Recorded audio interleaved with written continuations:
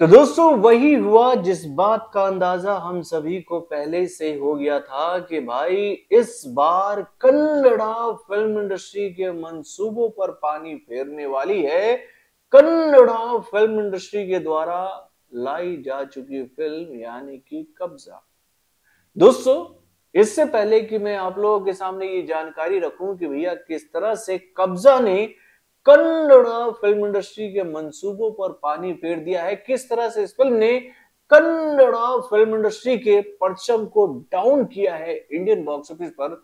उसको बताने से पहले मैं एक बात आप लोगों से दिल से कहना चाहता हूँ कि दोस्तों, जब कब्जा का टीजर कब्जा का पहला लुक कब्जा का ट्रेलर हम लोगों के सामने आया था तो भैया इस फ़िल्म के टीजर को, पहले लुक को और भैया इस फ़िल्म के ट्रेलर को देखने के बाद ऐसा लग रहा था कि भैया ये फ़िल्म भी कांतारा की तरह, विक्रांत रोना की तरह चार्ली सेवन की तरह, केजीएफ के चैप्टर वन की तरह, केजीएफ के चैप्टर टू की तरह बॉक्स ऑफ़िस पर आकर धमाकेदार परफॉर्मेंस करेगी और धमाकेदार बिज़नेस करेगी। लेकिन भाई, निकला क्या? पटा पोस्टर, निकला कोहड़ा। ये फ़िल्म जितना बड़ा हमें दिखाया जा रहा था भाई, ये फ़िल्म उतना बड़ा था ही नहीं। यानी भैया, इस फ़िल्म को देखने के बाद ऐसा लग रहा था कि भैया, इस फ़िल्म के मेकरों को ना, केजीएफ का ना फोबिया हो गया था कि भाई, केजीएफ जैसी फ़िल्म अगर हम लोग भी बनाकर दे देते हैं तो भैया, इंडियन ऑडियंस जो है, वो इस वक्त केजीएफ के नाम पर पूरी तरह से अंधी हो गई है और भाई, उसे केजीएफ से मिलता जुलता अगर कोई कंटेंट मिलेगा तो वो उसको आँख बंद करके यूँ यूँ यूँ यूँ करके, भैया, सिनेमा घरों में देखने आ जाएगी। भाई, इस वक्त इंडियन ऑडियंस इतनी अंधी नहीं है। दोस्तों, ये बात तो इस वक्त किसी से नहीं छुपी है कि भाई, इस वक्त बॉलीवुड इंडस्ट्री कितने क्राइसिस से गुजर रही है।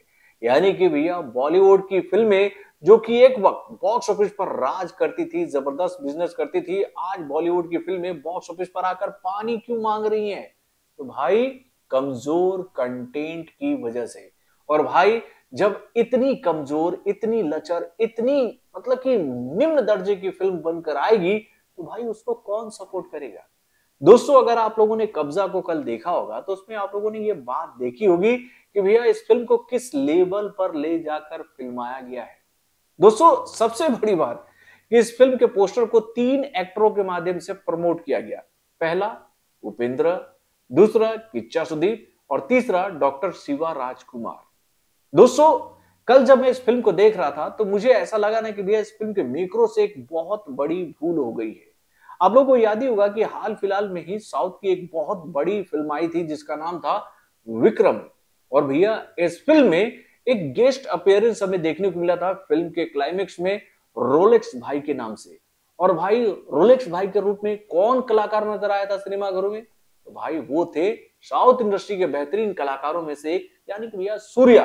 यानी कि भैया सूर्या को इस फ़िल्म में लास्ट में दिखाकर भैया पूरी तरह से पब्लिक को सरप्राइज़ कर दिया था इस फ़िल्म के राइटर डायरेक्टर ने।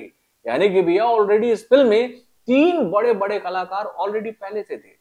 भैया, पहले तो भैया लेजेंड कलाकार, यानी कि कमल हसन, उसके बाद में भाई मेरे पसंदीदा कलाकार, यानी कि भैया विजय सेतुपति।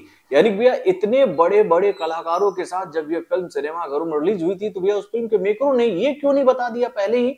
कि भैया इस फ़िल्म में सूर्या भी नज़र आने वाले हैं। लेकिन भाई, उन लोगों ने इस बात को पूरी तरह से छुपा कर रखा। ये सोचते हुए कि जब इस फ़िल्म को देखने के लिए सिनेमा घरों में ऑडियंस आएगी तो भैया अंत में जब उन्हें सूर्या, रोलेक्स भाई के रूप में नज़र आएँगे तो भैया ऑडियंस पूरी तरह से अचंभित हो जाएगी और इस फ़िल्म का ग्रीप बड़ा हो जाएगा। तो भाई, जब इस फ़िल्म में डॉक्टर शिवा राजकुमार को आप लोगों को बस एक छोटा सा किरदार देना था, केवल दो मिनट का शॉट उनको देना था तो आप उनको सरप्राइजिंग एलिमेंट के तौर पर इस्तेमाल करते। अंत में जब भाई कन्नड़ फ़िल्म इंडस्ट्री के दीवाने अपने सुपर स्टार को देखते कि भैया, इस फ़िल्म में तो डॉक्टर शिवा राजकुमार भी हैं तो भैया उसका एडवांटेज इस फ़िल्म को मिल जाता।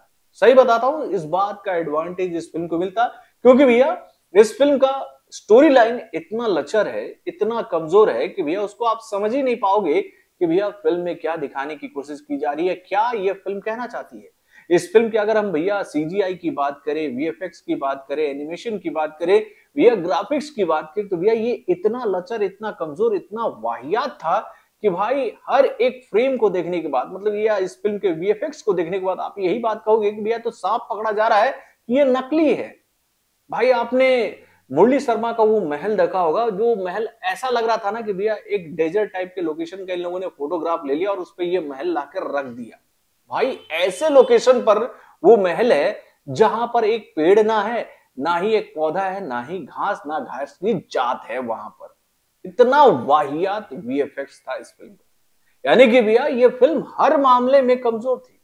और इसकी इसी कमज़ोरी को देखने के बाद ये बात कल ही साफ़ हो गई थी कि ये फ़िल्म बॉक्स ऑफ़िस पर आकर बुरी तरह से गिरेगी और अगर इस फ़िल्म को कहीं से बिज़नेस मिलेगा तो भाई ये बिज़नेस केवल कन्नड़ा फ़िल्म इंडस्ट्री के मार्केट से मिलेगा।